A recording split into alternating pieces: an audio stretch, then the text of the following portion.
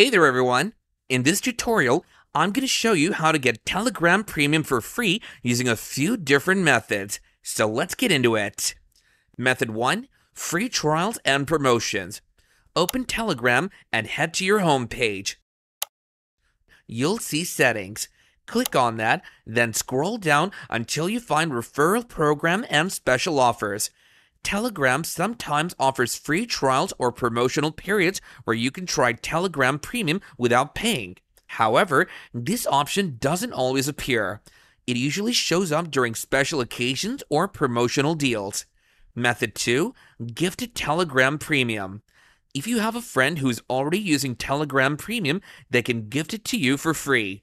To do this, your friend can go to the gift premium option in their settings, select your account, and send you a free Telegram Premium subscription.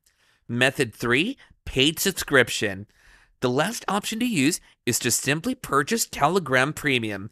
You can choose between a monthly or annual subscription to unlock all the premium features.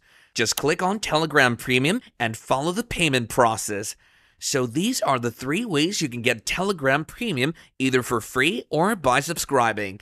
And that's how you can get Telegram Premium for free or paid in just a few easy steps.